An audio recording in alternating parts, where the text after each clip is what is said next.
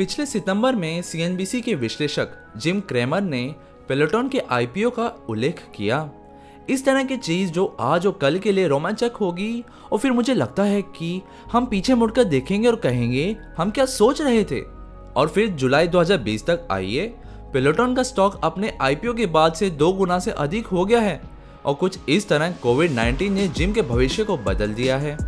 Digital fitness दो प्रकार के होते हैं, जैसे पहला कनेक्टेड इक्विपमेंट यह आपकी पेलोटन बाइक या फिटबिट स्मार्ट वॉच है, जुड़े उपकरणों में निवेश वफादारी को बढ़ाता है, लेकिन यह ग्राहकों को अविश्वनीय मूल्य भी प्रदान करता है। दूसरा सेलिब्रिटी प्रशिक्षक, आकर्षक व्यक्तित्व और उत्साहजनक कोचिंग उपयोगकर्ताओं को आकर्षित करने और बनाए रखने की कंजी होती है। और आगे क्या होगा?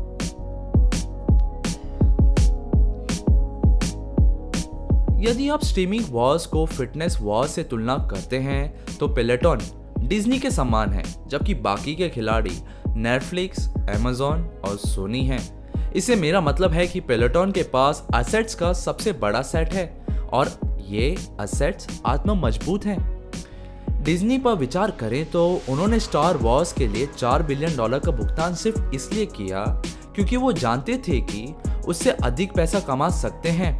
किसी और की तुलना में स्टार वॉर्स पर खर्च किया गया प्रत्येक dollar movie franchise theme park TV show live मनोरंजन और मर्चेंडाइज में बदल जाता है और कुछ ऐसा पेलोटॉन भी कर सकता है।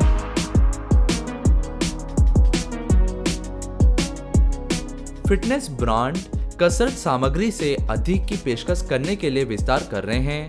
ध्यान कक्षाओं के चयन के साथ पेलोटन मानसिक स्वास्थ्य में भी घुस रहा है। वन रिबेल कुछ स्टूडियो में सौंदर्य के उपचार प्रदान कर रहा है और लूलू लेमन की 500 मिलियन डॉलर की मिरर की खरीद लूलू लेमन की लेगिंग को आगे बढ़ाने के लिए मिरर का इस्तेमाल करेगी। और जैसे जैसे डिजिटल फिटनेस आगे बढ़ेगी, वे अपने दर्शकों को फिटनेस के कपड़े, कसरत उपकरण, सौंदर्य उपचार और पोषण जैसी श्रेणियों की पेशकश करेंगे।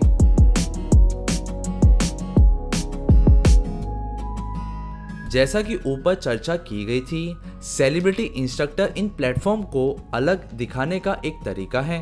हालाँकि सेलिब्रिटी सीरियल की तरह नहीं होते, वे आसानी से प्लेटफॉर्म बदल सकते हैं और अपने वफादार दर्शकों को अपने साथ ला सकते हैं।